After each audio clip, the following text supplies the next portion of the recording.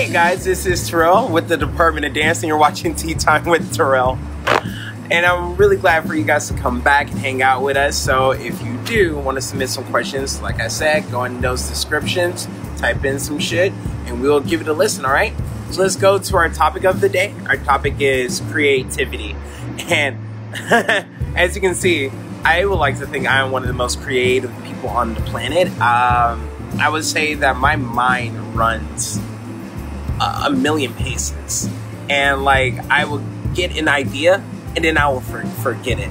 But being creative is honestly the reason why I'm still doing things right right now. It's one of the reasons why I can do this. It's one of the reasons why we have such a big, expensive part in our lives, you know? It makes us who we are. We become more than just ourselves when we are creative. We are an expansion of ourselves. And that does sound weird, but the universe is an, is an expansion of itself. So, hey, let's say we are the center. All right, now let's go to our questions. Our first question is from a friend of mine. Her name is Alyssa Hermosa. Girl, I got you. And your question was, how do you live in a world where anxiety and depression is the number one rule in young people in young people's lives without dissociating yourself? And girl, that's a fucking mood. because like take it from me, from someone who does have anxiety and uh, and depression. I I'm happy that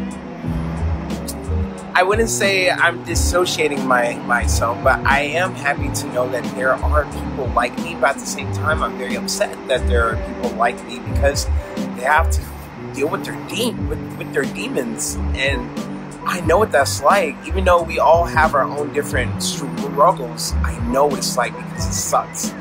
And you know, I don't say I, I, I wouldn't say that you will be dissociating yourself. I, I'll say that if anything, it's a good way for you to connect with someone and help each other. Um, that's the beauty of being in the generation that, that I'm in, and we weren't the only ones. There's been generations before us, and they've had their own struggles, they had their own difficulties. But the beauty about ours is we're in an age where technology is everything, and we can all connect with you, with each other. So instead of you know trying to say whose struggle is worse, how about we just say, I understand that struggle. I understand that struggle. Let me help you, and let's see if we can help each other. Let's see if we can build each other and build on the basis of anxiety and and depression.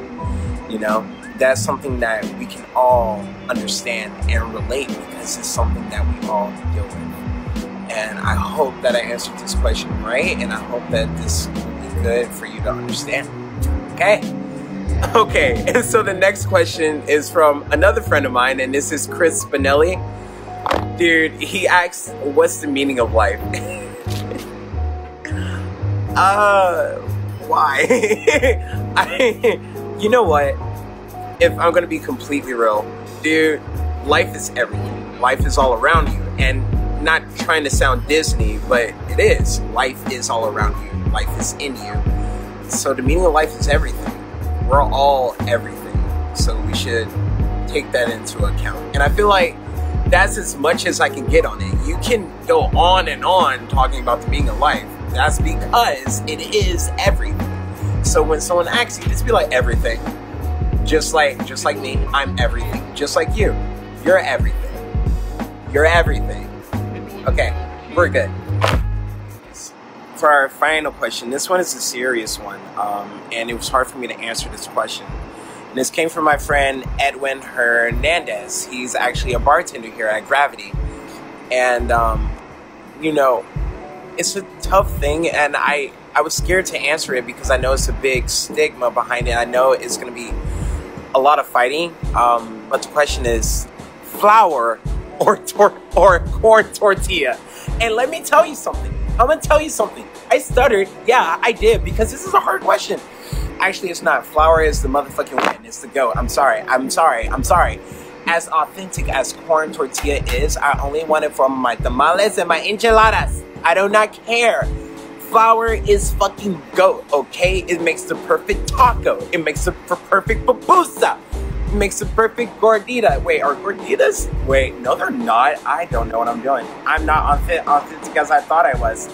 All right, guys, thank you so much for watching the second episode of Tea Time with Terrell. I am so happy that you guys love the first one.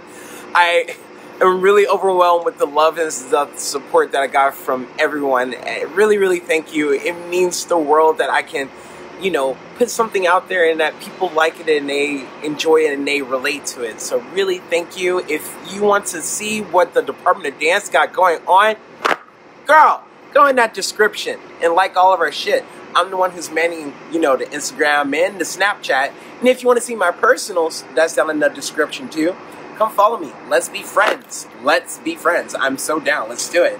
All right, guys, you have a wonderful night. See you later.